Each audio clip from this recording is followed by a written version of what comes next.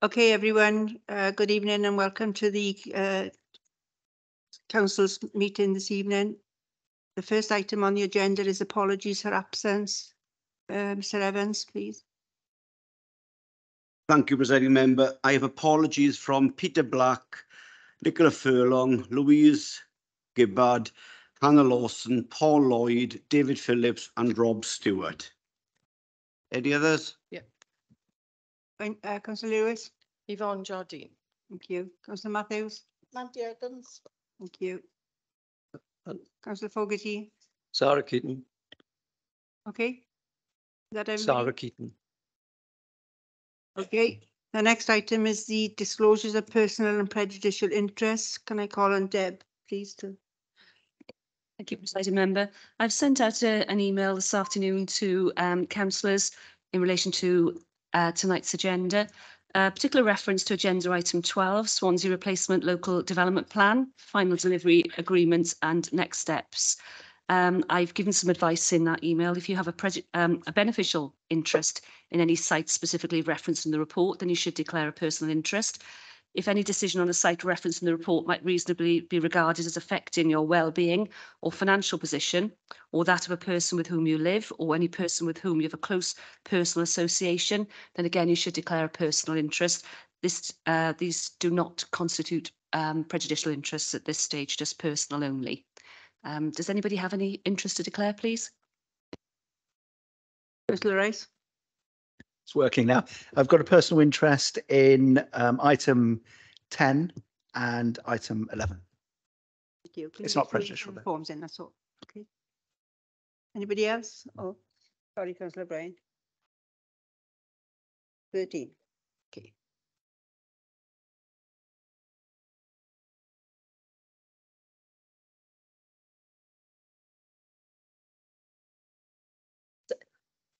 Sorry, yeah, I, item thirteen, personal interest.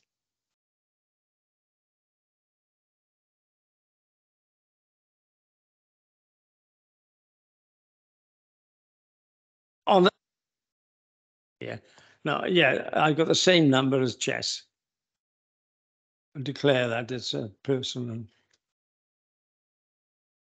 I would, Anybody else? No? Okay, we move on. The minutes to approve and sign the minutes of the previous meeting as a correct record, and that's pages one to thirty-three. I'll go through them page by page. It's page one, two, three, four, five, six, that's one meeting.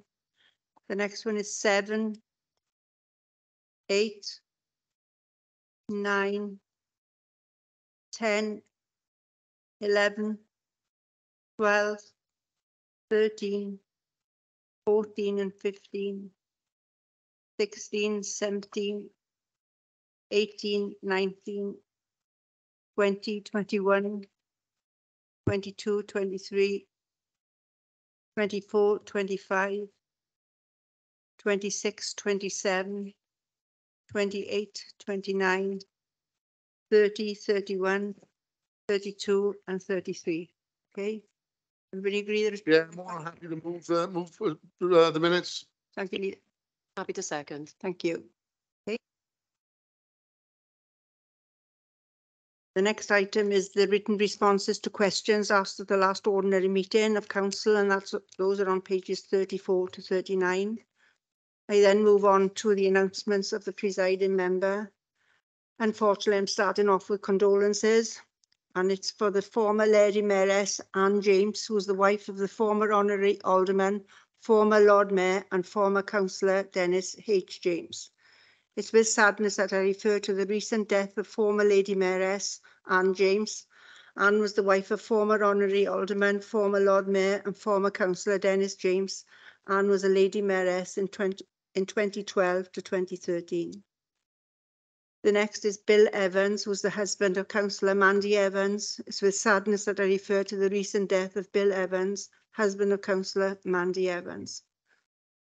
The next is Morgan Riddler, Morgan's Army Charitable Foundation. It's with sadness that I refer to the recent death of Morgan Riddler. Morgan had cancer and his parents, Natalie and Matthew, set up a Morgan's Army Charitable Foundation to raise awareness of many types of childhood cancers and share their journey would help many others feel less alone. Morgan passed away in June 23 and the Charitable Foundation is the legacy of love. Donations can be given via www.morgansarmory.co.uk.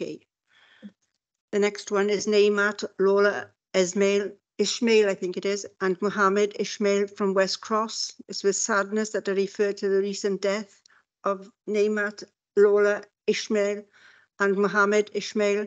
Neymat and his son both died following the house fire in West Cross. And can you all stand, please, in a mark of respect?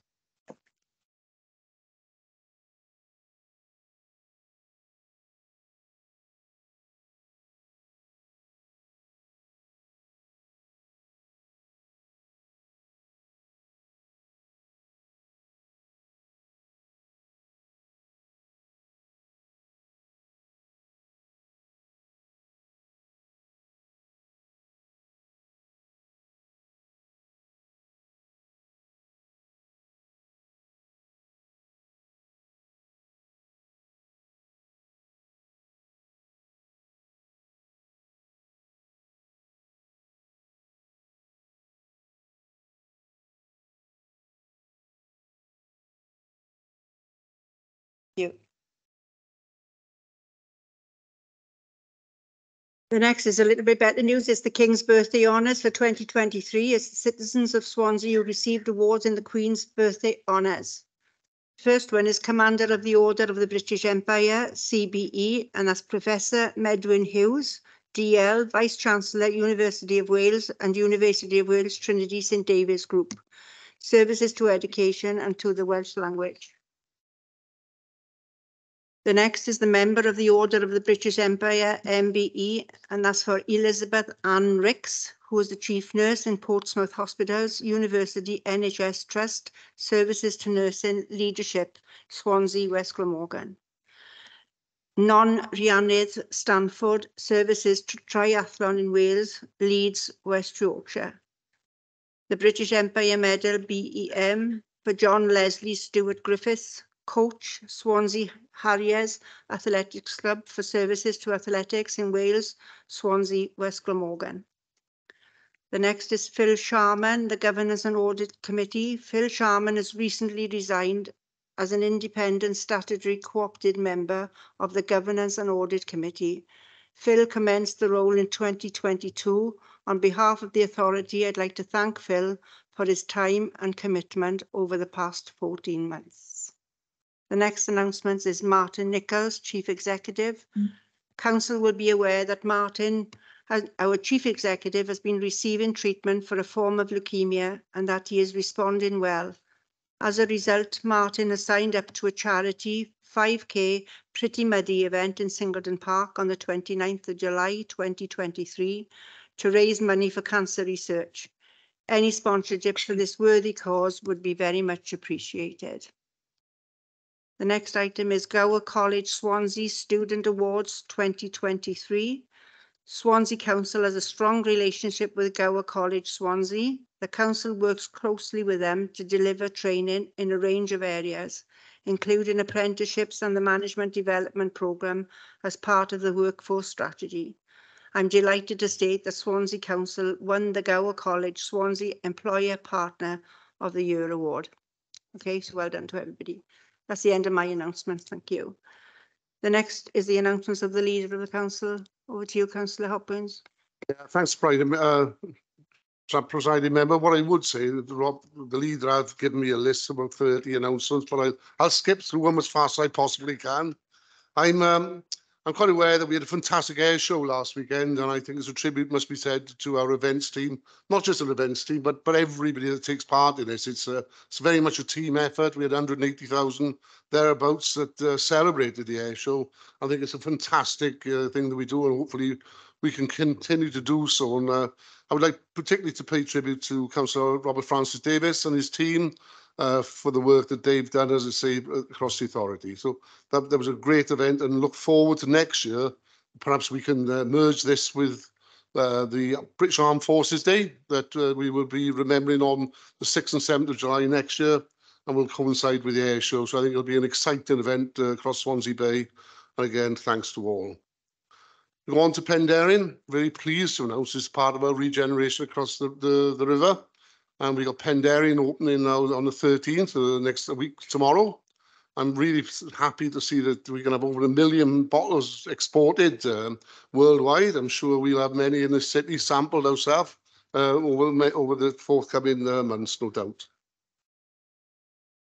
And I've also very pleased to announce that tomorrow we'll be opening the, the new refurbishment at uh, Bishopston School. Uh, there's over 50 million pounds that, that, that, have been spent on that school. I think it's a fantastic project. It's Been working uh, in a live school with pupils, and it's been really difficult project to manage. But again, congratulations to Kier uh, on on that one. Also this month, um, we had the pleasure of travelling to London for the MJ Awards. Unfortunately, we didn't get no silver on this particular occasion, but we were uh, certainly uh, runners-up again for the City of the Year. Not only did we um, was was put in for City of the Year and shortlisted for that, we also took, um, we also finalists for, for the More Homes project. It was great to be accompanied by, and I know Councillor Andrew Lewis is very proud of the work that's been taking place, but we also took an apprentice with us to that award and very disappointed we didn't win it. We still think we should have. And I think it's a tribute to the work that we have been doing, particularly in the, the More Homes project was the nomination for West Cross. So um, I think it's a fantastic job, and I, and the, I must say the apprentice made the most of it. He enjoyed every part of it, in fairness to him. So it was great to be there. Uh, that is the end of my announcements today. I've got no further announcements. You'd be pleased to know. Thank you, Councillor Hopkins. The next is the public questions. We've got 15 minutes. I've got some public questions from a Mr Houghton. Sorry, Mr Edwards. You want to, uh, Sorry, yeah, um, a gentleman had submitted questions, but he's not here to ask them, so the questions fall. Thank you. The next item then is the Governance and Audit Committee Annual Report for 22-23. I'd like to call on Paula O'Connor to give the report, please. Thank you, Paula. Thank you, presiding member. Um, I'm pleased to present this report again this year to the full council. I'm assuming everyone has read this report, um, but I will um, go through some summary points just to highlight some of those. The report outlines how the Governance and Audit Committee has discharged its duties in accordance with its terms of reference. With regards to the membership, the, the full council agreed that the membership would be set at 15 members to comply with legislative requirements and 10 are elected members, five are lay members. Um, during 2022, uh, membership was mostly achieved with four lay members sitting the, on the committee and the fifth uh, member joined in April 23. And from this point in time, the committee was compliant with legislation in total. Um, you've just heard the presiding member mentioning Phil Sharman has since resigned. And I understand uh, there's some discussion ongoing as to the future size of the membership of that committee um, as we speak. So um, I can report on that once the decision is made as to whether it remains the same recruit another lay member or whether the committee size reduces. So that's in the hands of, of democratic services and, and other key players involved. Um, during 2020 through 22-23, there's been continual liaison between the Chair of Scrutiny and the Chair of um, the Scrutiny Performance Board with the aim of ensuring that there's clarity and harmony of responsibilities across each of those groups um, because I'm keen to make sure there's no overlap, there's no duplication, and we sit within the remit of, of our, our roles. Um, there are a number of areas the Governance and Audit Committee have expressed some concern around, which are contained in the report, but just to briefly summarise, they relate to workforce capacity and capability, including the use of agency and management of sickness, performance management, ICT disaster recovery, procurement, and just to add that all those areas are stated in the Council's annual governance statement. So there's absolute clarity of where there's improvements needed um, as we move forward into 2023. In addition, I'd like to mention the Governance and Audit Subcommittee of the South West Wales Corporate Joint Committee, Um, that the Governance and Audit Subcommittee has not met since November 2022. I've informed the leader and the chief executive of this. Um, there was a meeting planned for July this month, um, but that was cancelled with an explanation that came with that, that a robust work programme has been worked on, and that would be presented to that meeting in the autumn of 23. Um, so at this moment in time, there is no uh, activity around the Governance and Audit Subcommittee. Having said that, there is an oversight by the Scrutiny Subcommittee, so there's not a total gap. There is activity going around on that. Um, during the, the year, the committee received assurance um, from the work of the Chief Auditor of the Council, Audit Wales, um, the Governance Group via Councillor Lesley Walton, um, plus the attendance at the Governance Committee by the directors of various services. It's important to give the directors an opportunity to give assurance to the committee that they're managing the areas of business tightly. Um, looking forward, the committee is absolutely committed to delivering its responsibilities, sorry, responsibilities in accordance with its terms of reference. Um, and the committee members are also fully engaged in the training programme to ensure that all members remain effective and up to date with the current um, speed. Um, finally, I'd like to thank all members of the committee for their commitment and enthusiasm at the meetings, and also the Vice Chair, uh, Councillor Paxton Hood Williams, for his support. And I'd also like to thank auditors, both internal and external, officers of the council and also to Jeremy from Democratic Services for supporting the work of the committee. Um, I wouldn't want to go any further than that. I'm happy to take any questions if there are any.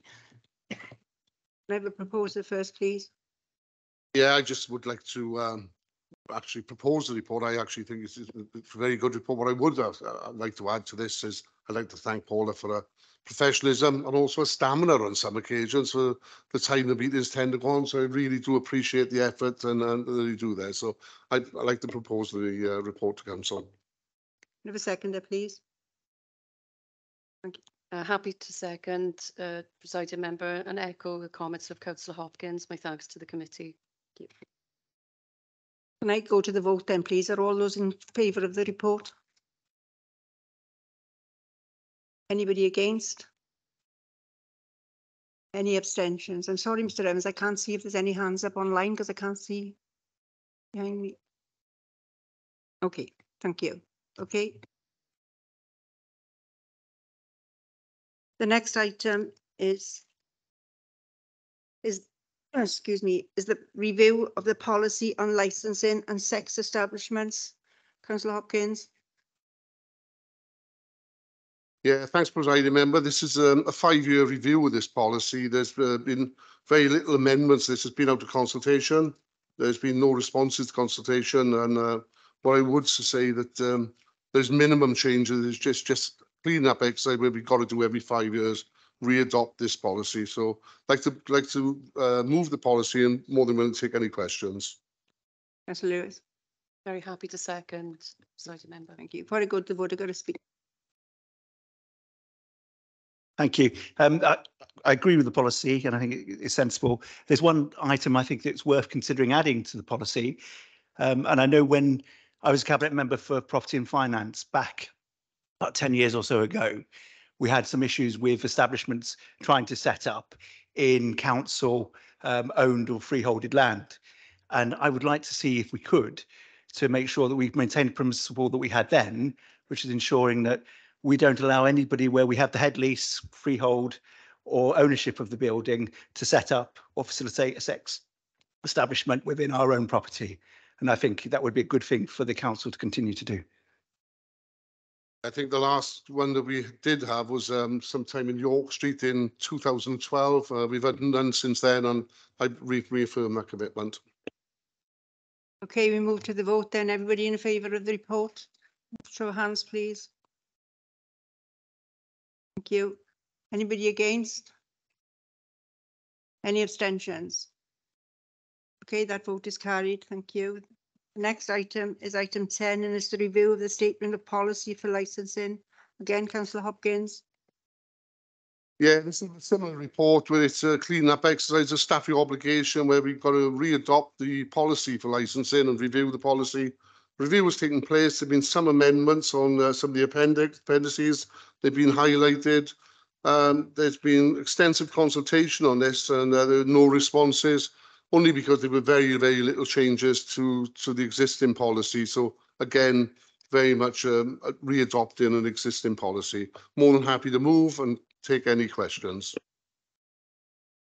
Second, please. Thank you. Happy to second. Okay, we move to the vote then, please. Everybody in favour for? Anybody against? Any abstentions?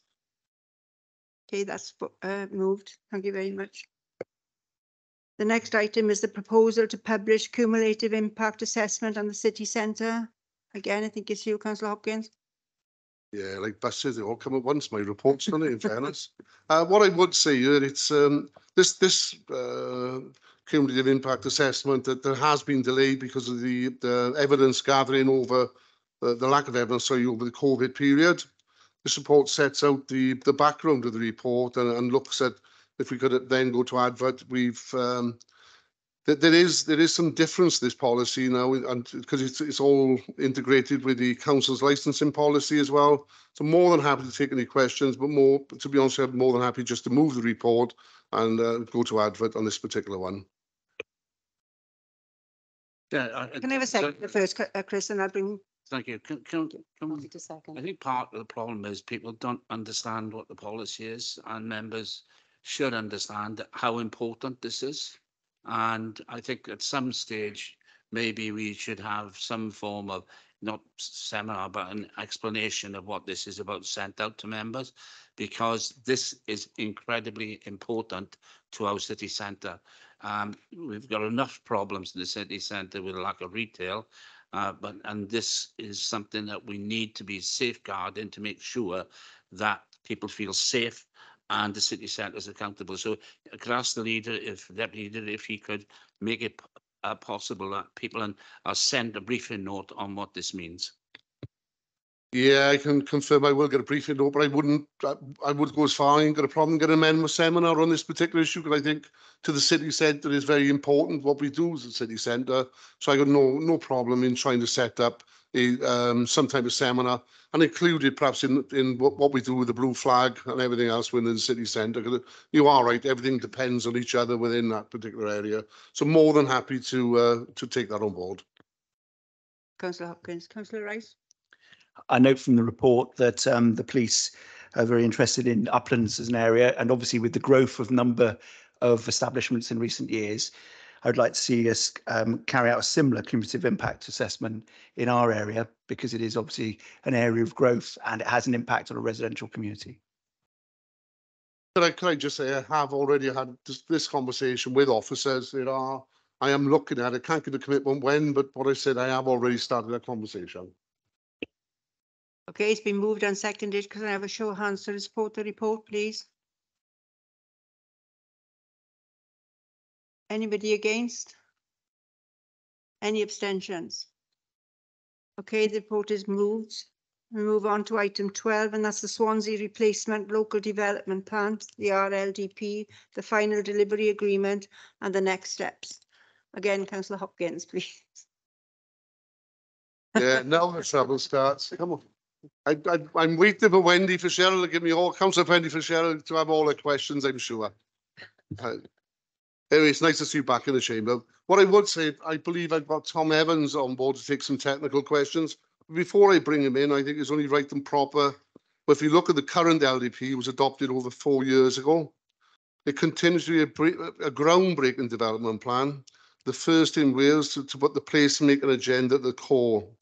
And being shortlisted for um, the RTPI award for the very reason and provided the, the sound constant approach to planning, design and placemaking. I think we're very fortunate um, as a council to have Tom Evans with us, who leads on this particular one. What I will say at this particular time, um, as you know, it's, it's, it's a national requirement uh, for every four years to review the LDP and to rebuild evidence-based case and ensuring the, the plan reflects the latest information and development priorities. In, in terms of, of a delivery agreement, um, in particular, I would like to draw members' attention to the community involvement scheme. And in particular, if, if the delivery agreement is clear and a wide variety of individual, individual groups and internal stake, internal stakeholders and members will be invited and encouraged to get involved in shaping this replacement plan. It is important to build a consensus including shaping and overarching objectives aspiring the st- strategy and policies of the proposal of this plan.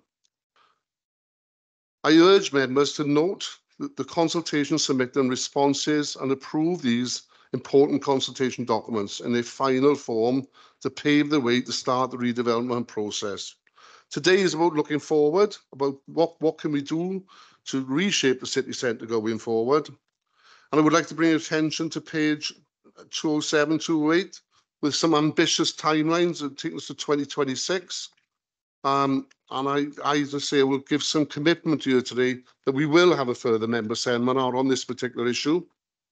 And I also, uh, before I bring Tommy, would like to make a commitment that we will have perhaps some special user groups or individuals, including councillors, who could come forward to help us develop this this work this this this plan in in the shape shape of um, uh, working uh, yeah working plan.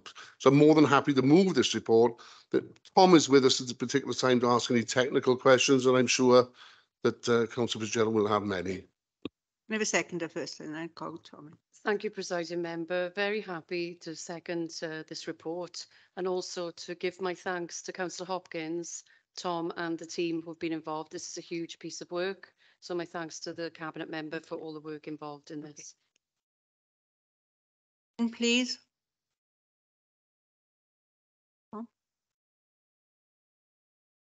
Thank you, thank you, councillor. Yeah, I, I will, um, I will just reflect really on those, um, those final words that you mentioned there in terms of the importance of bringing uh, all members with us now on this journey for a replacement plan. This, uh, you know, we are, we are four years uh, beyond, you know, down, down the track in terms of when the existing plan was, was adopted. And uh, as has been mentioned, there is this requirement now to um, refresh all the sort of evidence that it's that it's based on, um, and some of our areas of policy that we have as a council. Obviously, the world has uh, uh, has changed in many ways in that in that four four years, and some of the areas of uh, of evidence. You know, there's been some quite profound um, economic, socio-economic uh, shocks to. Um, uh, to, that, that we've all felt dur- during that time, and it's only right that um, that we do reflect on on those, and and we we, we make sure that our our development plan is is is based on the very latest uh, information then so that is what we'll be doing.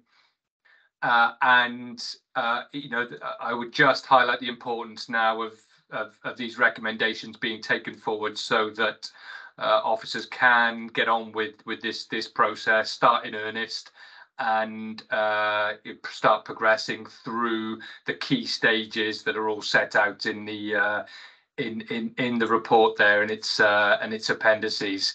Uh, and and finally, I will just emphasise that uh, uh, the uh, stakeholder engagement throughout will be done at each of those key stages, and and I'll certainly be making sure that um, officers are into uh, myself and other officers are in touch to set up some of those member groups so that um, there is that uh, uh, political engagement as we go forward. So I'm I'm uh, I'm happy, as the cabinet member said, to take any uh, any questions at all that uh, members have got today, or if you'd like to follow up in in writing, um, I will certainly um, get those responded to as well.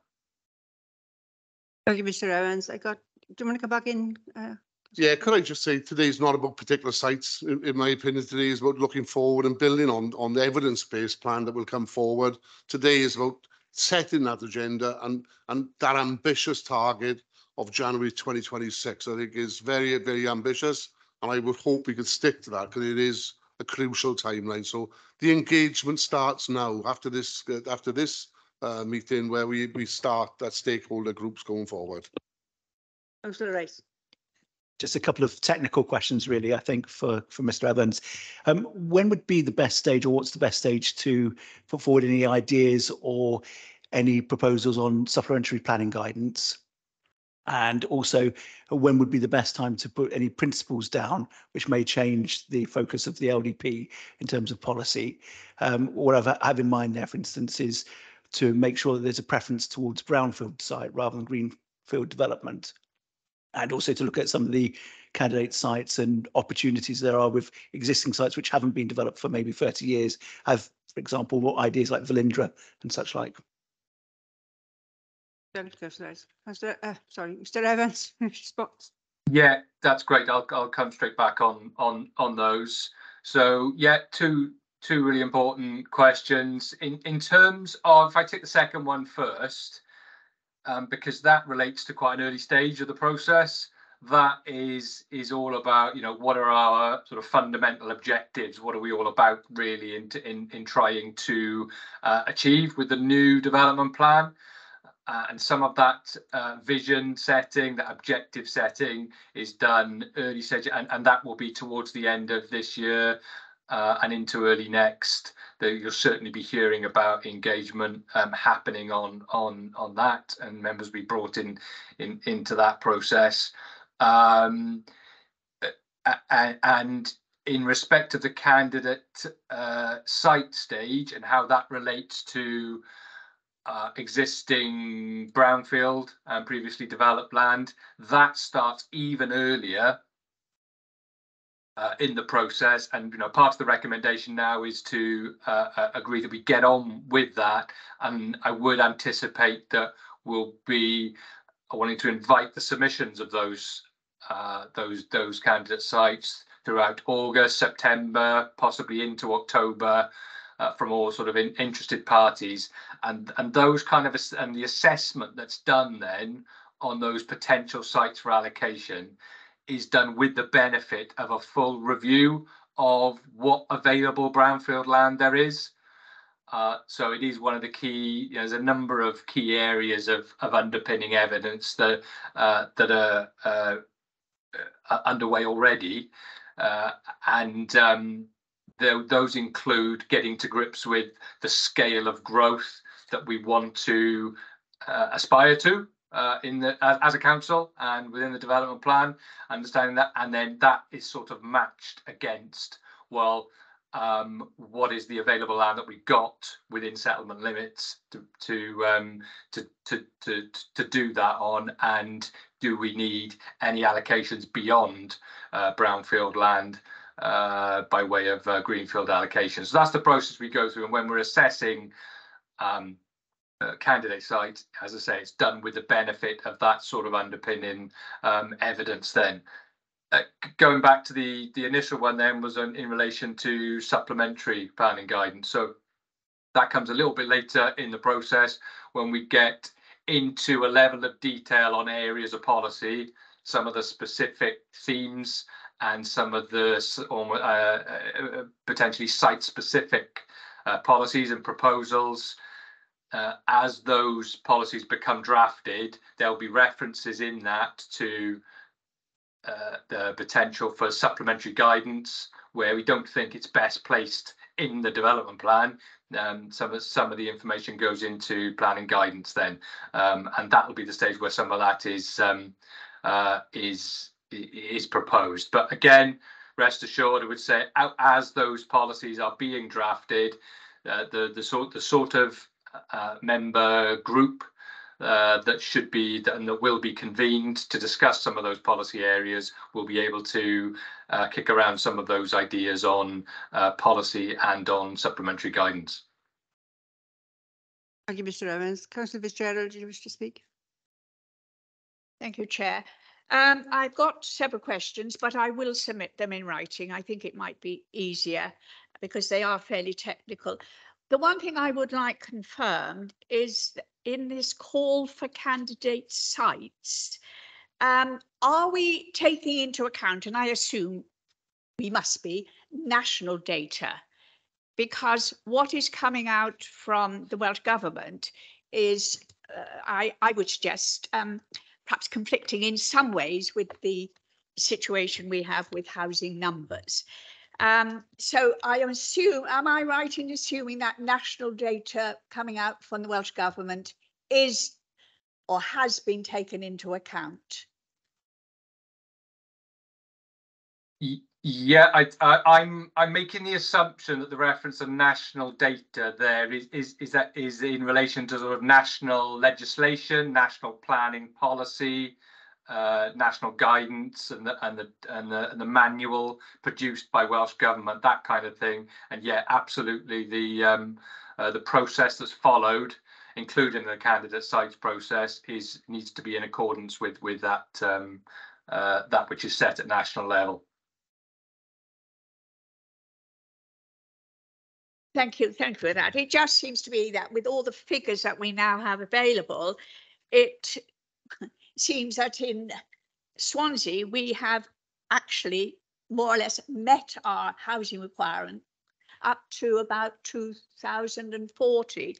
Um, I, I, as I say, I, I've been looking at the bigger figures and uh, it does seem you know, we have a particular situation here and that looking at the situation, um, you know, with, the, with Neath, Port Talbot, Carmarthenshire and Pembrokeshire, um, there is a fairly low level of housing required across all those four counties. Um, and we seem to have met our requirement already, let alone projecting into the future. I, I'll, I'll pick up on that that again, um, if I, if I may, because it, it raises a really good point, uh, Councillor Fitzgerald, in the, in that you know since one of the changes in circumstance since the adoption of the uh, current LDP is the publication of Future Wales. And for those that aren't uh, aren't aware, that is the National Development Plan for Wales. It has the same status as our uh, local development plan for decision making and that has been uh, adopted by by government uh, in the intervening time. And um, as as you've set out there, councillor, that there are uh, some policies within it, proposals within Future Wales that talk about levels of growth uh, anticipated within the region the wider region within which Swansea sits. So yes, there is a requirement that the plans that come forward underneath Future Wales have regard to that. And it and it and what, what it says is that our this council's development plan uh, needs to have uh, be set within its context and explain why the level of growth that it, we are going to propose is what it is. Whether if you know justify if it's less than for what reason, or if it's more than some of those figures in Future Wales for Tom, what Tom, sorry, can, can I come in? I think we struggle, I'm struggling in the front row here, particularly with the acoustics of the, of the room. I don't know whether anybody else did. I'm, I'm getting the same impression from, from the opposition. Can I suggest we, we answer that question in writing? Because I am, it is echoing round here and I'm, I'm losing it a little bit. And I think I'm getting nods from the opposition this particular time as well. Yeah, so more than happy to take that, that question in writing if you me. Yeah, okay. No, thank you. Thank you, councillor Hopkins. Councillor Will Thomas, did you indicate, please? Uh, yes, I did, but I, I'm online obviously, so I don't know if it's echoing the same. Um, but I'll, I'll ask it anyway, and you can make the decision whether you answer or not. Um, the the call for sites, I'm just wondering how that impacts on uh, rural exception sites, because obviously they, as being exception sites, they'd be outside of the LDP. But I just wonder, because I know one was uh, involved in the LDP last time, so just wondered if we could cover that, please. Yeah, I I'll come straight back on that. I don't know whether you can hear me okay in the in the chamber, but I'll I'll I'll carry on. Uh, in terms of how the question is, how does it impact on rural exception sites? Uh, again, I'll make the uh, the assumption that you mean uh, will there be a uh, an invitation for the submission of sites for rural exception sites, if that's what you mean, and and um, yes uh, the the the process essentially invites the submission of any site for uh, potential allocation of a range of uh, land uses. Uh, the, the, the process makes absolutely clear there is no commitment on the behalf of the council to allocate anything that is submitted.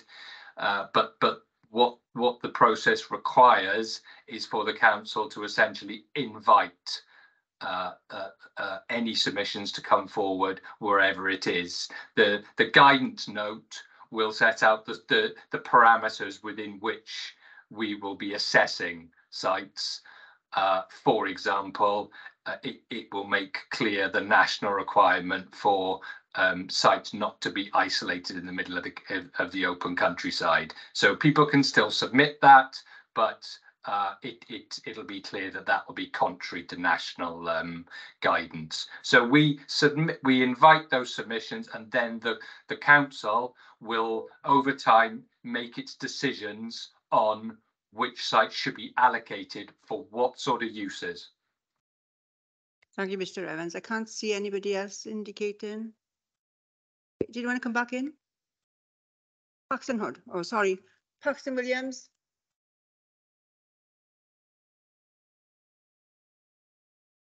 You're on mute. Thank you, Madam Presiding Member. One quick question, really, I think. If I remember correctly, I think the Welsh Government were telling us prior to the last LDP, we had to find sufficient land for about seventeen and a half thousand uh, households. Um, has that figure changed? Is it going to change or how, where, where are we in that respect? Yeah, so to come back on that, this this goes back to what I mentioned in terms of the underpinning evidence. So it's one of the key areas of work that needs to be done for a replacement plan. It's to go essentially crunch the numbers to understand what are based on new data such as the ONS um, forecast on population growth, so on, but also our uh, uh, our information, our understanding of what sort of economic investment is uh, uh, anticipated. So this sort of information goes in to technical work to understand well, what's the level of growth that we as a council should be aspiring to in terms of uh, future development. Uh, and then things like housing numbers uh, and uh, affordable housing need and so on all relate to that uh, in order to produce what is our overall um, proposed number of new homes for the next 10 to 15 years. Okay, I'm not sure I got an answer in terms of an absolute figure there, I'm sure, but. I'm No, sure you won't. I Sorry, think it'll come councillor, just to say, you won't have a figure yet. There is no figure yet. So Okay. that's the work that needs to be done over the course of uh, this year, next year. Uh, it- it's it's it's a, an extensive piece of underpinning evidence that is already underway. Um, but there, there, there is no figure as it stands. The figure comes out after all of that sort of e- extensive technical work, which will produce the figure that goes into the draft new plan years down the line. So if we don't know the figures yet, why are we asking for candidate site proposals when the figures might reduce? That's because the process requires that candidate sites is the first stage in producing a development plan. The, the, the Welsh Government's manual says the first thing every council must do is invite the submission of, uh, of, of, of candidate land so that the council starts from the off the, to uh, consider what available land there is to uh, potentially allocate whilst it does all its technical uh, work in terms of understanding the levels of growth required. It could be that everything is that's actually submitted, none of it is needed to be allocated because all of your land is available within your uh, settlement limits and your brownfield land that's available. But that o- that that only becomes known much further down the line once all the all the technical work I've described has been has been done and you understand whether or not there is a need for allocations and by then you've done your assessments of sites so you know which ones are suitable or not. Okay. Thank you, Tom. Can I, can I give a commitment at this particular time? I think will be, this is a huge implication for this authority. And I'm more than willing to give a commitment that we will have a, a seminar on this thing because it, as part of the consultation going forward, to, so that we all understand the process and, and what the outcomes can be. So at this point, more than, yeah, and, and accept views from, from members at that particular point and give a commitment. The members will have an input in developing this, this document throughout this process as well.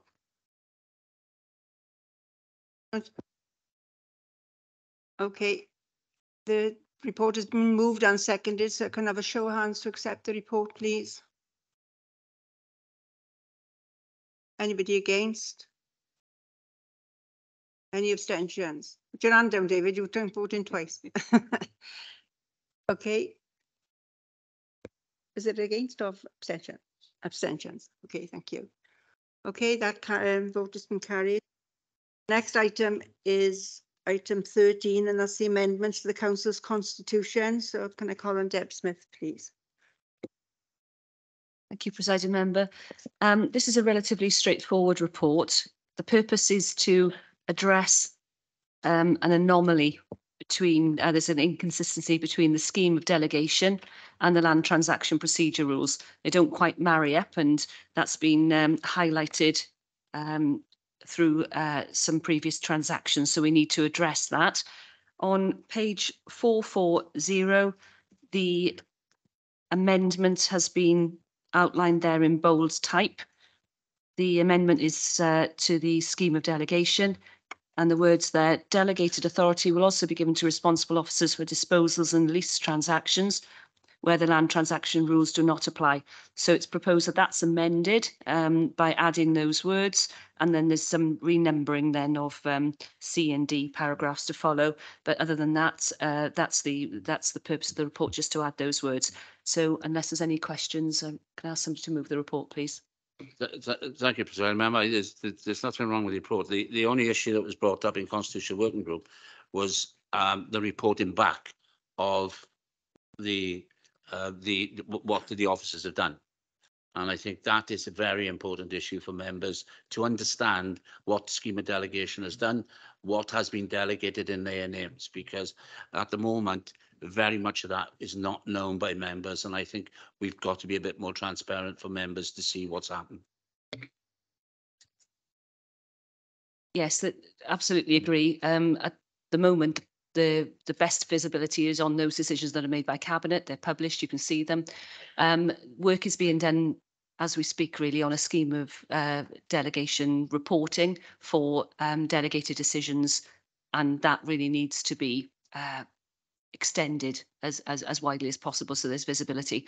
At the moment, um, there's some reporting of delegated decisions on contract award reports and on certain transactions over certain values, but that really does need to be broadened. Thank you, Deb. Councillor Hopkins? Yeah, more than happy to sec, uh, sorry, more than happy to propose this report. Thank you. A second, please. Happy to second. Okay, the recommendation is on page four three eight is that the amendments are outlined in section one point eight of this report are recommended to council for adoption into the council's constitution. So can I have a show of hands for, please? Anybody against? Any abstentions? Okay, that's moved then. Thank you very much. The next item is membership of committees, and that's councillor David Hopkins, please. It's the last one for me, I promise. It's, um, yeah, no, I got noth- nothing just to, um, move the, the nominations as, as put forward. Councillor Lewis. Happy to second. Thank you. Okay, the recommendation is the amendments to the council body listed in paragraph two be approved. So can I have a show of hands for, please? Anybody against? And any abstentions? Okay, that's moved then. Thank you. The next, we move on to councillors' questions. And the first one, any supplementaries from Francesca? Oh, she's left. Uh,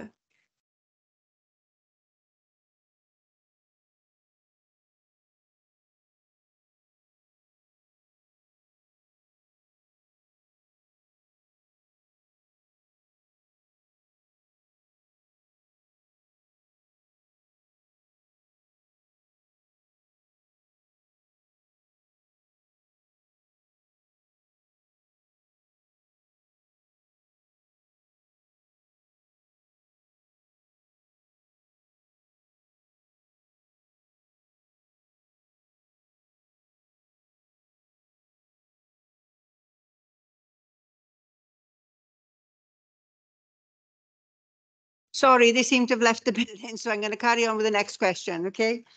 So the next one, any supplementaries from Mike Lewis or Wendy or Mike White, please?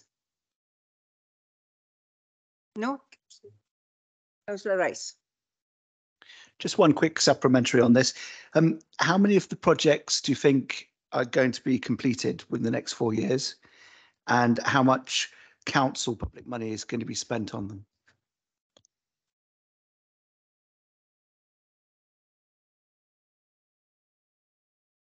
Well, I would hope that all of them would be completed within the next four years. Whether they will uh, remains to be seen.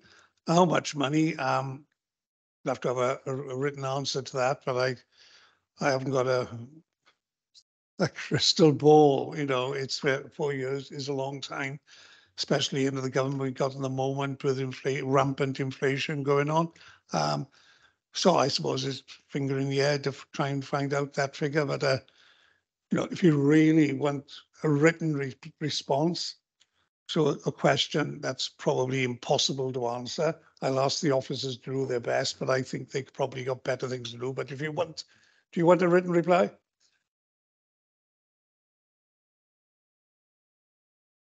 We do it. No, that's fine, Councillor Francis-Davies. I, I I think I could work it out from the capital plan. Okay, move on to question three then, and that's any supplementaries, councillor Walton? No, no supplementary. I think, but I, I, I, I thank the, the councillors for asking this question because of all the things that have happened due to Brexit. I, I think this is the one which is going to affect uh, infrastructure development in Wales. Uh, and we had the levelling up fund, which is, we were told, is going to compensate Wales for uh, the loss of funding from, uh, that's two and, and from convergence the reality is it's going to go near it. And when we look at the Heads of the Valley Road, which is going to be one of the most important developments, uh, I know there are many people who don't like that development, but the reality is it brings about 8 million people within an hour, hour and a half's drive of Swansea and, and our tourist destinations. Um, and I think it's really important to remember how that was being funded, and that has been funded through, partially funded through EU funding. Now, whether or not we would get that under any government, let alone the one we have at the moment, is difficult to, to assess. And I think also in higher education, and we know that Swansea University has lost, and other universities have lost uh, jobs because of the reduction in EU funding. So I think the, the, the answer to the question is, is very appropriate. And I think that we should all be aware the consequences of us leaving the EU. Forget about anything else. The, the funding that we were promised is coming nowhere near it. Thank you.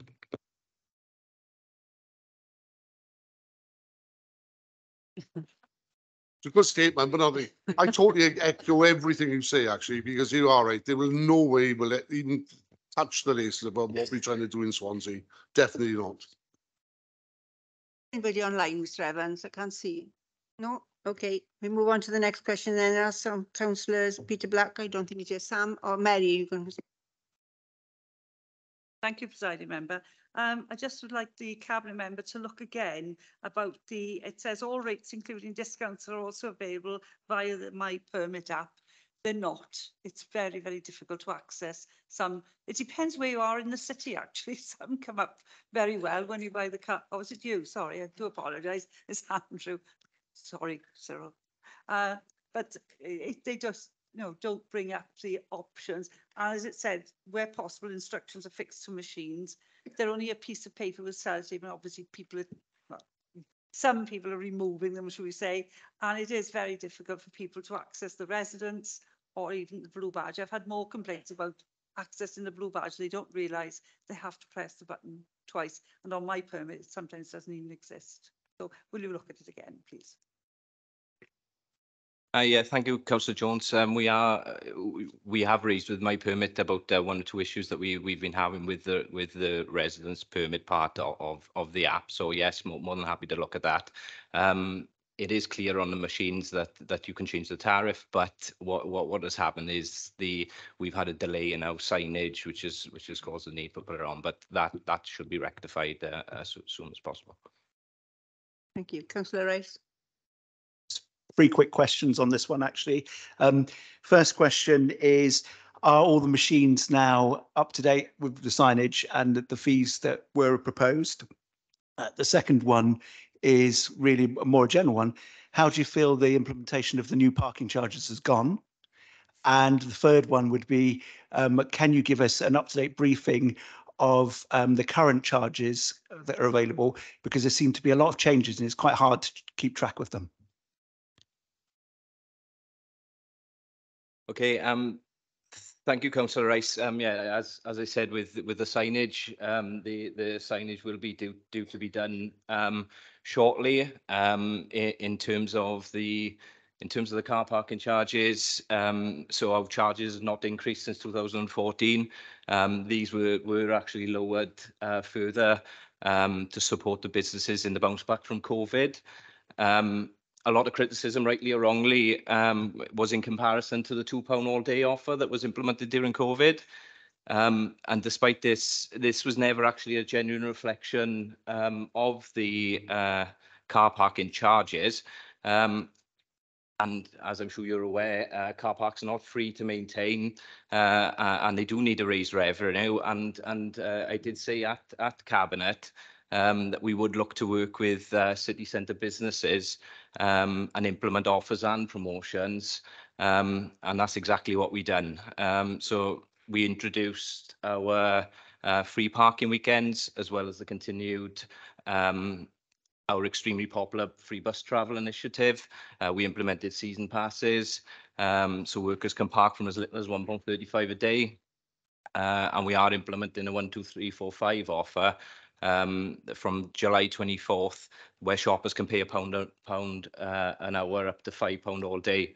Um, so I, I do I do believe our parking offers are, are some of the most comprehensive anywhere in the UK. Um, so um, as I said, when we in in cabinet when the cabinet the report came, we did say we'd be mo- mo- mobilising to in uh, to put offers in place. So. Councillor Stevens, Councillor O'Brien. Hi, yeah, just sorry, just to add to the car parking O'Connor, charges. sorry, I called you the wrong name. Sorry, sorry, Francesca. She knew what I meant. Sorry. Um, yeah, just about the car parking charges, basically, we've had quite a few complaints, obviously, from businesses um, in Mumbles as well, and people coming in of the increase in car parking charges. And Swansea um, train station has gone up, I've noticed, to, um, if you go in there also, I think it's before eight AM in the morning, you're charged the overnight fee of an additional three pounds, making it eleven pounds a day. And if you, if you're working in Cardiff and you're coming out of Swansea and you're trying to be environmentally friendly, obviously your cost of the train and then to park the the car at Swansea train station is actually discouraging many people from travelling by train to Cardiff. And um, I just thought I'd highlight that if there's any plans to bring those down too.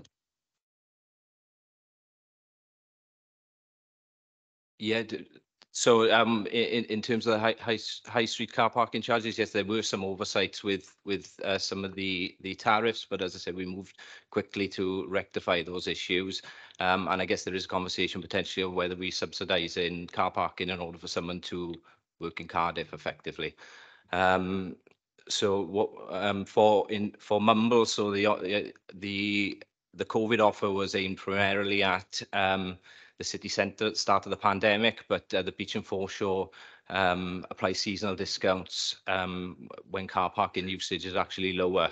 Um, and these were actually worked up with coastal businesses. Um, and we have said um, that we are happy to look at uh, amending any future foreshore, any future foreshore discounts, um, which are applied during the winter season if it's something a business wants to review. Okay, no- nobody online, Mr Evans, is there? Okay, thank you. The next is from uh, councillor Francesca O'Brien. No supplementaries, thank you. Question six is from councillor Wendy Lewis. Any supplementaries? No supplementaries. Thank you. The next one is from councillor Andrew Williams. No supplementaries. The next. Lewis and Francesca O'Brien. Okay, thank you. Councillor Fogarty. Thank you. Um, I wonder, um, would the cabinet member agree? Um, I'm sure that we all recognise the issues with bus services that are described in the question. Um, but actually that's because what we've got in Swansea is a bus business rather than a service. Um, and would you agree that that is as a result of the deregulation and privatisation of our bus services that was actually a Tory-led policy in the 1980s?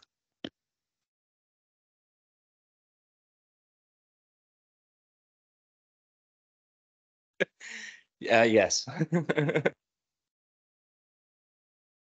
Thank you. We move on to the next question then, and that's from councillor Sam Bennett. Uh, Thank you, presiding member. Um, I just wanted some clarity on the bottom paragraph about the home um, safety, the Home Office um, Safe Streets fund funding. Um, I'm not clear as whether we did apply or we didn't apply. Um, so if we can a bit of clarity as to whether did we apply or did we not apply, and if we didn't apply, why didn't we? Um, it's just that this uh, there was what 1.5 million available in the fund, half a million to Cardiff, half a million to no 750,000 to Cardiff, 750,000 to Bridgend. So had we got it, it would have been half a million, which is almost as much funding as we've got in every other um, fund that is listed there. Yeah, no, we didn't apply for the, the for this one. Um, they they did make the decisions they that we had applied in the in the previous one, and, and we were obviously applying for all the others that are in here as well. But when what some of the other areas where the funding for, we already have, we're already ahead. So when they sort of give the sort of narrative for, you know, the criteria to fit, we'd already sort of done that, uh, especially with the the purple badge, you know, and the purple flag and safety. We'd already sort of were, were light years ahead, but also it's a tiny team. Do you, do you mean? So it's just when you're applying for lots of grants, you have to pick cherry pick really which ones you can you think you can get the most out of. But this time round now we're waiting, ready to go again. So um hopefully it'll be our turn and we'll we'll have something. But uh, yeah, so no, I suppose is the short answer. Thank you, councillor Pugh. Councillor Mary Jones.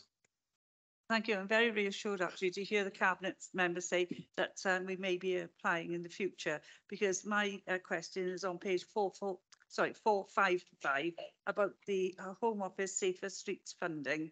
And as you uh, may be aware, I think you are because you attend the meetings, in the antisocial behaviour inquiry, you uh, interviewed young people and in the uh, South Wales Police uh, news from the Police and Crime Commissioner, it says about expanding the South Wales Police Safety Bus Project, uh, supporting vulnerable people in the nighttime economy, and young people did make the point that they didn't feel safe coming in to Swansea on a bus. So uh, hopefully that if we can have some money, then, then we can address some of the issues that have come up in that actual inquiry.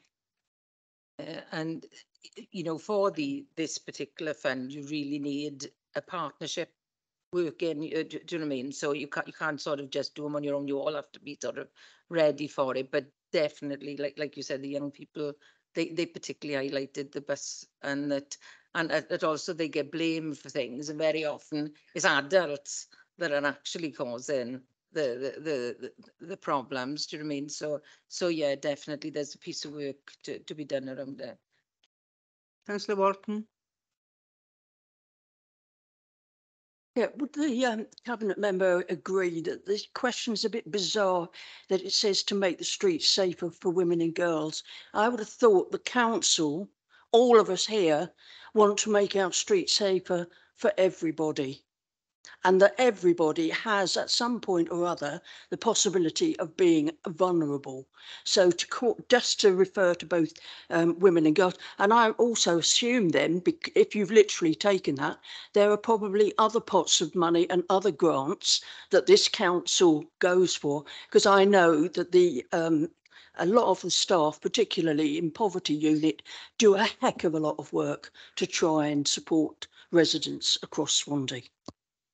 Thank you, Councillor. Thank you, Councillor Walton, for for for that. You know, for that. And yes, of course, it isn't women and and girls alone. It's everybody out there, and everybody can find themselves, unfortunately, in a vulnerable position. You you know, um, but and you're right. The poverty team, there's there's a lot of work goes on there, but they all work in partnership. There isn't, you know, to be fair. all our teams within the local authority and the third sector, you know, whoever can draw down on something, yeah, and who, who best fits, you, you know, um, deliver sort of thing. So yeah, thank you. Councillor Hennigan. Yes, thank you, Chair. Um, I think the cabinet member will agree, the antisocial behaviour scrutiny inquiry panel. Um, have a meeting now in September and the recommendations on the antisocial behaviour and quite a lot have come in regarding young people at Water Bus Station, I think it is. And the recommendations will go to cabinet sometime in October. And can I thank the cabinet member and the cabinet member Hayley for attending that excellent meeting in Bryn Hyfryd about three weeks ago. Again, RFD. Yeah, I think it would be remiss perhaps when we're looking at this about a safer Swansea. It was Councillor Hawley said earlier, really about safeguarding our nighttime economy, which is exceptionally um, good in Swansea. We have again had the purple flag for the, the third third time running. Um, we're the first area to, to, to get this flag on the three occasions that we bid, and it's that is the the Safer Swansea Partnership, working with our local authority, our city centre management, the city rangers, working with BID, and you see the um, taxi marshals, the, the street pastors. The amount of work that is being put into our nighttime economy has actually transformed, I think, the safety in um, what is always portrayed by the the Cardiff, or is it Cardiff, or is it the Welsh media, or but probably not even the Cardiff or Welsh media has probably reached PLC that I don't know if they have an office in Swansea anymore, print in Wales even, but there we are. Um, they always seem to reflect on Swansea uh, and nighttime economy not being safe. Well, it is safe. It's a very good nighttime economy. It's got this purple flag. That just doesn't happen. That's all the partnerships working together to make sure that we uh, of, of the highest standards and, and, and really our our staff do a great job. The next morning, after you know, perhaps there's lots of rubbish left, it's cleaned up. But the uh, the, the night pastors and, and the way we deal deal people perhaps who are possibly drunk too much at times, they are people that are looked after. So we do the best to make sure that the city centre is welcoming and actually people feel safe. Yeah, thank you, uh, councillor. So Can I give a point of information? I did indicate, Sorry. sorry, do you mind? Uh, it- it- um, uh, councillor Walton said about why we said women. The actual fund was about funding worth almost one point five million to deliver a series of initiatives aimed at keeping women safe. We agree we want to keep everybody safe, but this fund was specifically for that. So that's where the question came from, not something that we plucked out of the air. Fair enough, thank you very much. Um, only, only just to add on, um, uh, what Councillor Francis Davies was just saying then about the purple flag. We are working community safety wise in the unions we're gonna- and will bring it to council soon, hopefully about um, get me home safe, about bringing, getting staff home safe. Uh, from staff that work till the middle of the night and things like that. So um, I will bring that soon. Okay, the next question is from councillor Michael Locke.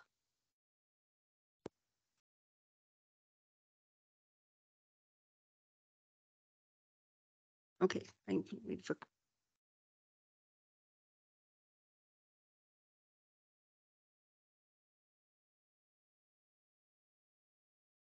Oh, sorry. Yeah, the only comment I would like to make is that the bus service in Swansea now is actually a bit of a shambles. Um, when it was privatised in the early eighties, it did work okay, but now it's it has degraded, and it's actually very poor. And that's the only comment I would like to make. Hal, do you want to come in first and then we? Yeah, yes, yes. I think every, I think anyone who ever u- has used public transport will tell you that it's, whether it's on a train or, or on a bus, the, the- position of our transport infrastructure, not just in Swansea, but in South Wales, but in the UK is appalling. Um, many, I, I'm sure the cabinet member would agree with me that when this question was asked some years ago, the then cabinet member for um, uh, environment and infrastructure was um, Mark Thomas, who totally agreed with us that uh, whenever this became available, that we should seriously consider going back to having a municipal um, uh, bus company. The, the, the reason, the reason we should do it is not just as a question of subsidizing. It's a question of making it available for people. Because the, at the moment, we have to pay a subsidy anyway to, to, to the bus companies for certain routes. And I can remember many years ago having to pay an enormous amount of money to a bus company for a route. Um, and it would have been cheaper to have taxis. But the truth of the matter is, we need bus services and we need good quality bus services and we need them timely and we need them to run on a way in which they are available for the public. So I think anything, when this, when we have an opportunity to do this, we really need to look at how we, how we can finance it. And I, I think um, doing it under the city deal, and I won't mention that word that will, will haunt me for the rest of my life, uh, um, which is working in Cardiff, but unfortunately didn't work in Swansea. So I think we, we need to seriously consider when it becomes available, how we finance it, and if we can do it.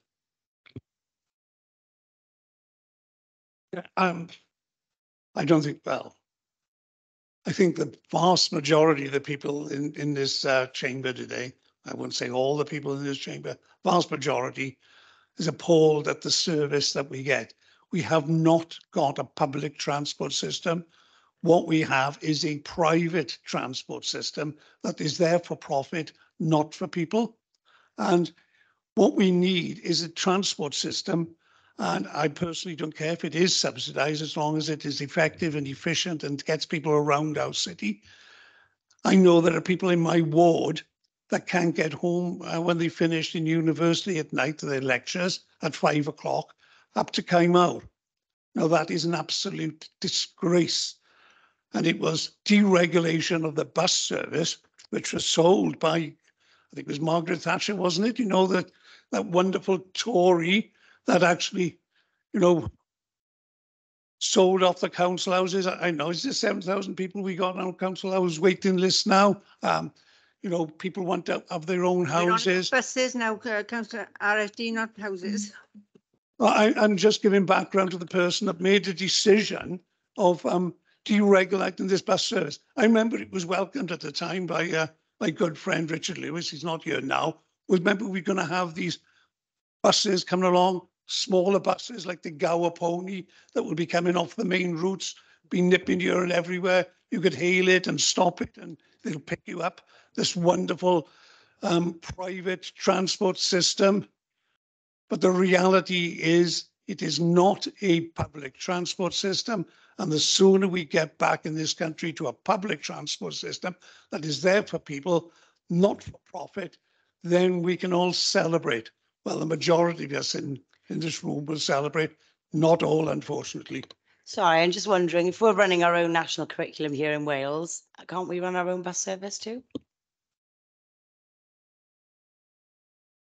Could I look, I, I do share the concerns about the bus service within the city. It is very concerning. I think public transport itself is very concerning. What I will say, I think Councillor Andrew Stevens and the leader have been particularly active looking at the metro, campaigning with Welsh Government to, to try to get a metro system up and running to give competition to our, uh, to, to thing. I think competition is healthy. And I think the sooner that we get other operators on board to work in competition with any pro- uh, provider, the better, the sooner the better, as far as I'm concerned. But I can guarantee you, we're not sitting down. The leader and Andrew, Councillor Andrew Stevens at this particular time are lobbying Welsh Government, and I'm conscious that we hope we could get you know, a s- a- an announcement very shortly on all these issues. So um, I thank you, Andy, for, for, for your perseverance, I would say there as well. Councillor Stevens, do you wish to make a comment? You can. Well, no, Chair, I don't think I can add anything to that. I think it was all pretty much covered, wasn't it? They all jumped in before you could answer, Andrew. Okay, thank you. The next question then is from councillor Mary Jones. Any supplementaries? I'm sorry to end with you, uh, councillor Hopkins, seeing as you've been hogging the uh, agenda. Uh, you'll have to excuse me, I've scribbled all over the place, so I hope I got in the right order. Um, I was quite disappointed, uh, in April, I think it was, we went to a site visit uh, in West Cross, and it was a site by exception, um, and it was common land, but there were all, also peat reserves. And it seemed to me that the a way it came over as if they weren't important. I'm not talking about where the upland, which is in the uh, response about wind farms and things like that, where you pour the concrete in. This was a smaller area, which actually, if there's a lot of small areas, it still has a cumulative impact. And there was no sort of uh, acceptance almost of the fact that you shouldn't disturb the peat. It is a carbon uh, trap. And even in the um, LDP that we've just been looking through, it's all about um, biodiversity, ecosystems and that. And you know, every councillor gets a calendar. And on this calendar this year, there was actually a picture of them trying to restore peat bogs and peat fields. And I'm really disappointed that we didn't seem to accept the fact that it is important to, you know, to preserve the peat, but also because it's a site by exception, they seem to be able to do what they like. If it had been some, this was obviously a, a social housing provider, and I'm not saying we don't need the houses, I'm saying we need to be smarter looking at the sites that we're using, uh, because if it had been a, an ordinary house builder, they certainly wouldn't have been able to build on that land. So can I have a reassurance going forward that we look into more detail about if we are disturbing the peat. And I'm not talking about just at the major mm. things with the wind farms, which they say the wind overrides the peat, which I don't like, but I have to accept. I haven't got the details of that particular case in front of me, so I won't comment, but I will give a commitment on the new LDP. All these things will be looked at and particularly we will be taking evidence from, from you know, specific pe people on biodiversity, carbon footprint. So we will be looking at all these issues. So that commitment is, is definitely there. Sharon? Thank you. Yes, it was just the last sentence in the answer that I was rather curious about because it does say, um, finally, and to enable the full reinstatement of the special landscape quality following the decommissioning of any wind energy generation development. Um, what puzzles me about that is that what I've read about turbines erected on, um, you know, high areas with with considerable peat is that there are tons and tons of concrete put into the soil. And that when decommissioning takes place, it is only the top meter approximately that is removed. Now, unless there's been any change, and this is what I'm wondering, you know, I find that quite shocking because peat land, valuable landscapes are going to have, even if the turbines go, are going to be changed for posterity because of the concrete in the soil. So just wondered if you had any comments on that statement. I don't share the professionalism that you've got on this particular subject in any shape or form. But what I will be doing is give, give you a particularly written answer on that, because I haven't got that technical data in front of me. Okay, thank you. That's the end of the question. Oh, sorry. Sorry again. I was just going to say, um, we've we've encountered this on Mynydd y Gwair with the wind turbines that were built up there, and I must say that the developer uh, did not look after the peat that was taken away on that site. That was uh, an absolute tragedy, and it should have been managed a lot better. I think you'll find that there could be more planning applications coming forward for wind turbines on our common land in Swansea. And if that happens again, then we seriously need to look at the way our planning uh, project is because we failed on that. And and you can see up there now, if you walk up there and see it, that the the land has not gone back to as it should be, and it is a, it is a big failure again, I wouldn't have that technical expertise, but I, and I cannot give any commitment about new developments. I know that, that there is an energy crisis. I know that uh, Welsh Government will look at this in a very serious manner.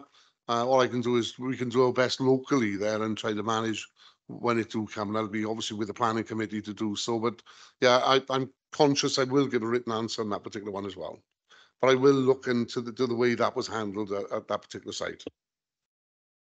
Okay, that's the end of the questions and you bang on thirty minutes. That was well timed, folks. Okay, we move on to the notices of motion and the first one is from uh councillor Chris Holley. Tha- Thank you, presiding member. I, I don't think there's anybody can disagree with the fact that this policy of ours um, i- i- is right and proper. And I think that, I know there's exceptions to this, and I, I was uh, explained to me earlier on about how in the farming community, there is, there is a difference in, in, in the- way in which this is carried out. But I think that the whole policy that we have should be, have more publicity.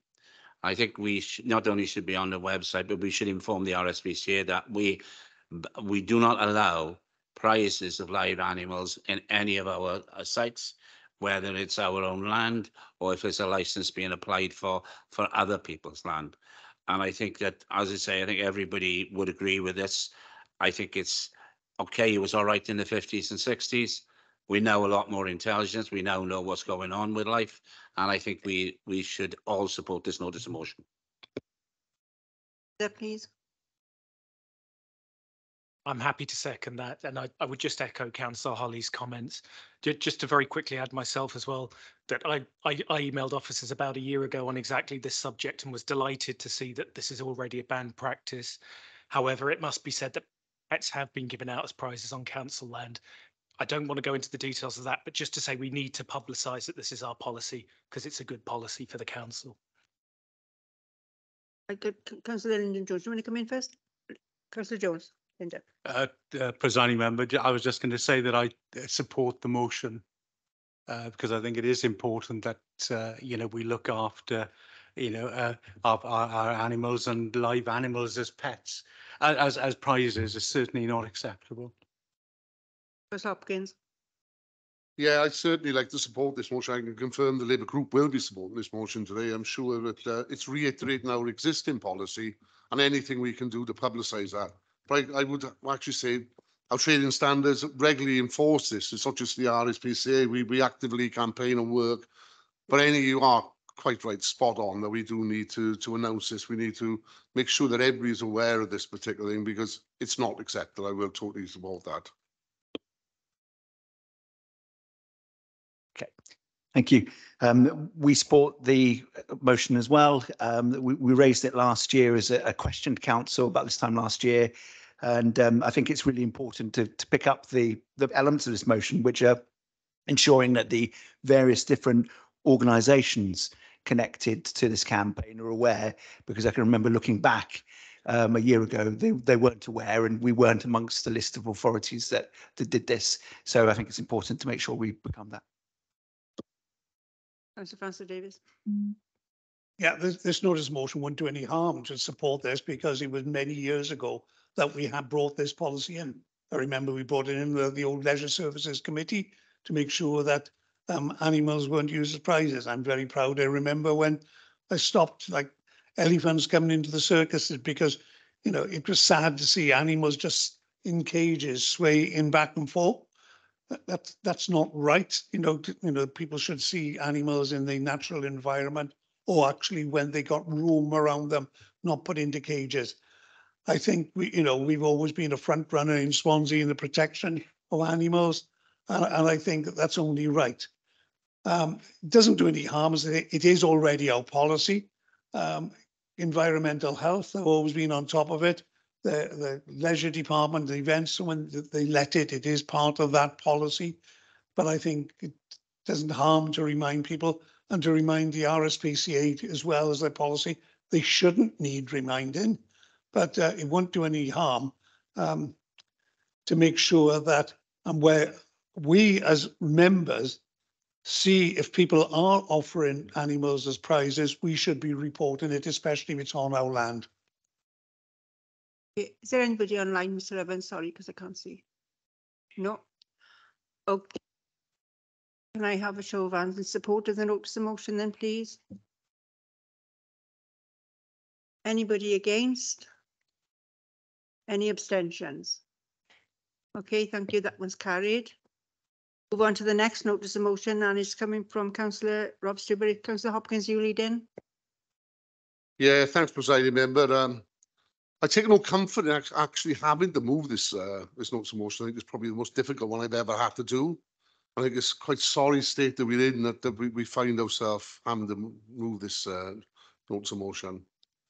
What I would say, there's a common thread here, you know. During COVID, our care workers particularly worked in bubbles. Our refuse collectors worked in bubbles. Over Christmas, you weren't allowed to mingle with your friends or family. You had to be stick to bubbles. People dying alone in thing. And I look around this chamber, I know there's certain people in this chamber couldn't even be with their family when they were dying. The only common thread here in Westminster, the only bubbles we could see was in the Buck Fizz, in my opinion. And I think it's a sad, so, sorry state we're in we find ourselves. Now, what I would hope we do in moving this, this uh, of motion, that we have a unanimous um, support across this thing.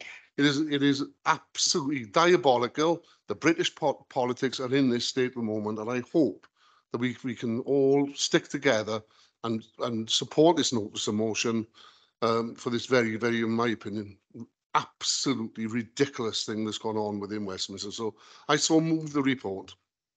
Please. Thank you, presiding member. It gives me no pleasure to second this notice of motion. Uh, every single person in this chamber, we are community leaders. Every single person in this chamber, I'm sure, followed the rules to the letter.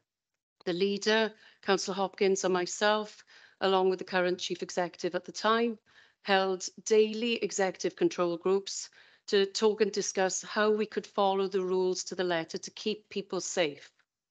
This is our Prime Minister at the time. His behaviour is not only abominable, but to uh, have the audacity not just to have parties, but to lie to the public is absolutely outrageous. Now, speaking on a personal note, um, uh, David Hop, Councillor Hopkins has referred to people's personal uh, issues during this time. Uh, my mother was shielding. She has Parkinson's. I respected the rules and I did not visit her purely because I wanted to keep her safe and protect her from the COVID virus. And I'm sure there are many people in this chamber, many personal stories along those lines. But I would also not just like to raise the fact that we should be discrediting Boris Johnson, but also other Tory MPs and peers. So a report from the Privileges Committee found that former cabinet members and allies of Boris Johnson were accused of launching an unprecedented and coordinated campaign to undermine the inquiry into whether he misled Parliament at Partygate. Seven Tory MPs and three peers, including a serving government minister, were named and told their behaviour risked discrediting a fundamental arm of the system of checks and balances in Parliament. Boris Johnson's behaviour has undermined people's confidence in politics. It's discrediting it. And we know in this chamber that poli- politicians, we're always continually uh, criticised, and this does not help that argument whatsoever. Moving on to our current Prime Minister. So Rishi Sunak claims he has a moral compass. He resigned from Boris Johnson's cabinet but we cannot forget that he was part of the cabinet during that time. He's claimed the moral high ground. He states that Boris asked him to do something he wasn't prepared to do because he didn't think it was right, and that was to overrule the House of Lords Appointments Committee or make promises to people, and he wasn't prepared to do that. Very well done, Rishi. Very telling that he didn't bother to turn up for the vote on the review of findings in the House of Commons. And we must not forget that Rishi Sunak in April 2022 himself was issued with a fixed penalty notice by the police who found that he committed offences under COVID 19 regulations by attending a birthday party for the Prime Minister on the 19th of June 2020. Ladies and gentlemen, our sitting Prime Minister. So, presiding member, I hope that there is a, a general election and a general election soon because actually the, the cronies that uh, Boris Johnson's cronies and also Rishi himself guilty of acts of breaching the regulations himself. I think it's about time we had to change the government, presiding member. Councillor Holley. Thank, thank you very much, presiding members. The, this notice of motion will not change uh, our government. Um, it will not change uh, the people that are in, in, in Parliament at the moment, and it certainly won't change that cabinet. What this notion notice of motion does is reaffirm us as individuals, our disgrace and our disgust at the way in which elected members acted in the highest offices of this country. We, all of us, and I know that there's people in the Conservative group here who stuck to the rules, who helped out distributing food, who has distributed uh, things to vulnerable people. And I know that they must feel disgusted as well as everybody else. The fact then that the man that held the highest office in this country went to Parliament and lied uh, is, well, it's just disgusting.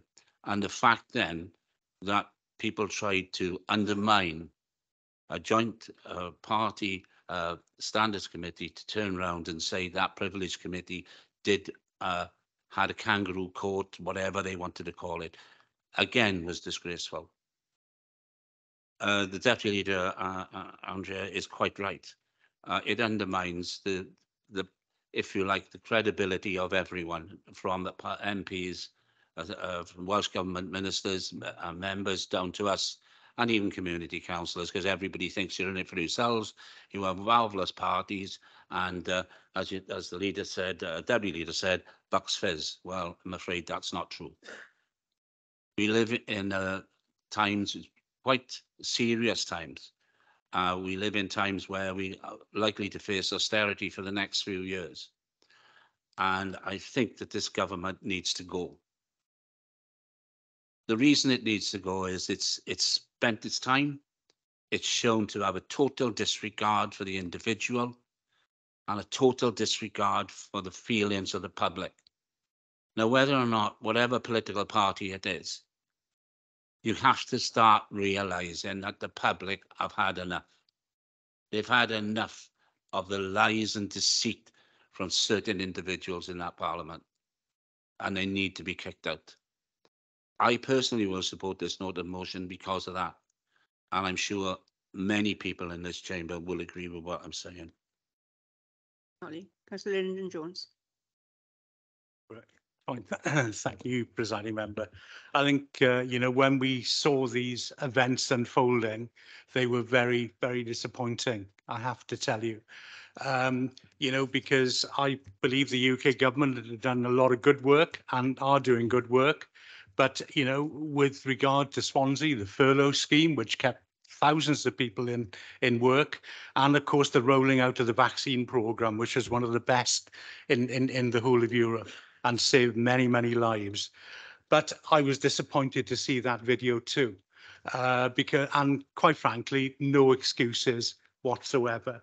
There can't be uh, because it's not good enough speaking personally like many of you and I know people in my group we've all made sacrifices uh, during the course of the pandemic I uh, attended a number of funerals, but a lot. I was one of a few who was allowed to actually go because we were a certain number of people allowed. And on one occasion, I couldn't go because of the rules.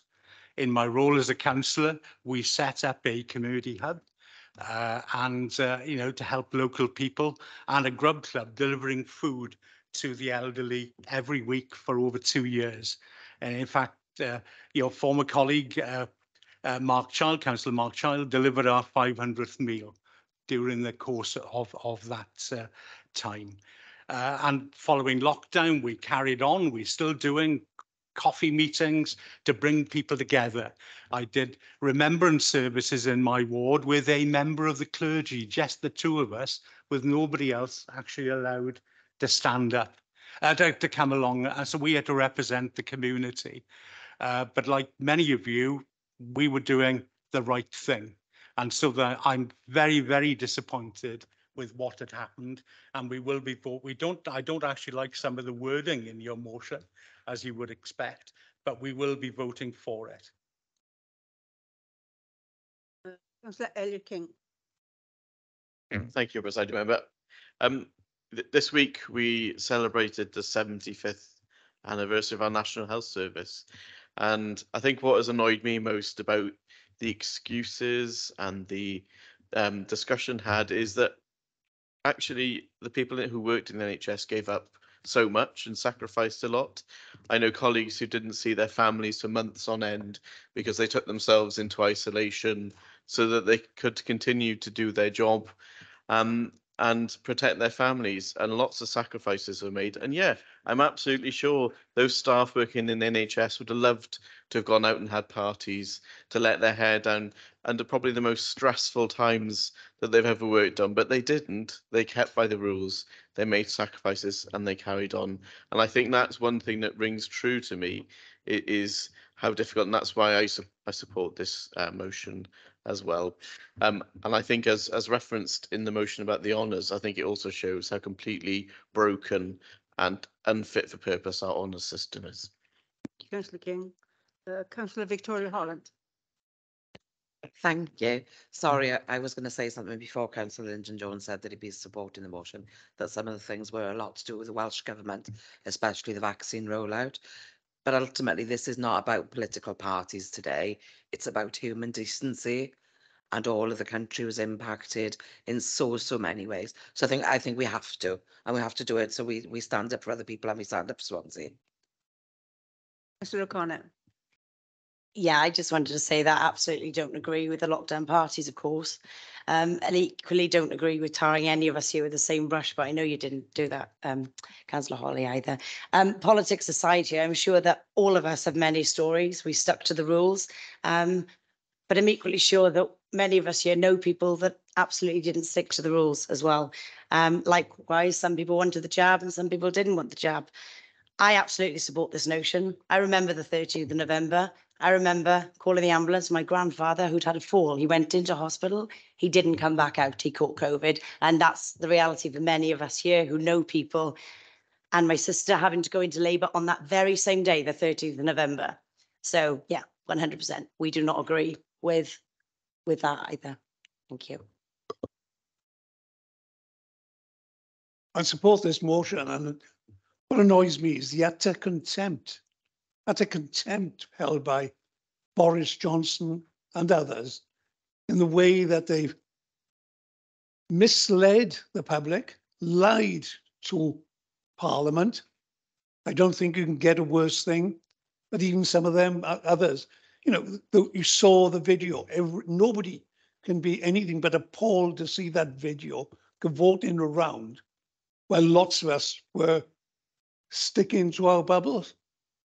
Her Majesty the Queen, you know, a solitary figure sitting in Westminster on her own, disgraceful and contemptible of the highest order.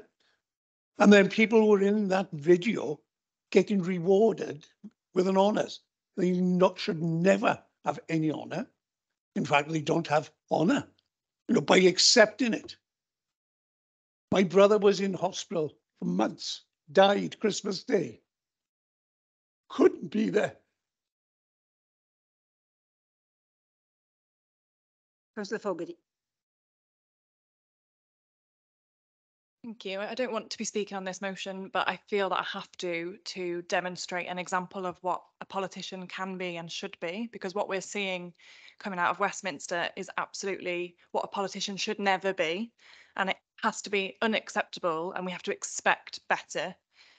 Um, we've all got our own personal stories to tell, and I feel like I have to represent the women who, like myself, went through pregnancy and childbirth during lockdown. So some of the images I have in my mind are of sitting on my own in a hospital corridor with a suspected miscarriage and my husband not being able to be there because we were following the rules. And then when my son was born and we had to go back into hospital for his first week of life, again, being on my own, my husband not being able to be there, not being able to visit, even when he dropped off clothes for my newborn son, not being able to come and meet his his first child for that first week because we were following the rules. So for Boris Johnson and his friends, let's not leave them out of it because they have got as much blame to shoulder on this as anybody else. For them to not only completely disregard the rules that they set, but then lie about it and then try to discredit the people who are bringing what actually happened to light and into the public domain is just absolutely contemptible. And I totally understand why people don't trust politicians anymore, because if you can't keep the rules that you make, then why should the public trust you? So I'm speaking today and I'm supporting this motion because politicians are not all Boris Johnson. In fact, everybody, you know, in this room who'll be supporting this motion, we are all much, much better than him. And that is what the public should expect of us. Councillor Bailey. Thank you very much. I don't often speak in this chamber. I thought- I think this is the first time I've ever spoken, actually. Um, and I usually steer clear of motions too. Um, they're often political point scoring, but I think this is past that. Um, we've all got stories, and I'm sure we've all we can all talk all night about them. Personally, I managed care homes um, for the years before I became a counsellor. Um, lived in work for weeks without going home to see my family, as many other people in care homes did. I also helped look after older people in their own homes. Um, and one couple I looked after, 82 years of age, they spent two years without leaving the house because they were so petrified of leaving. They wanted to stick by the rules. As restrictions were lifted, they brought them into a care home and they died within a week of each other. So we, there's there's lots of other stories I could spend all night, but and I usually stay away. But I think, uh, you, as you said, you make the rules, you stick by them, you lead by example. Um, so on this case, I I will be supporting as well tonight. Is there anybody online, Mr Evans? Sorry, I can't see. No?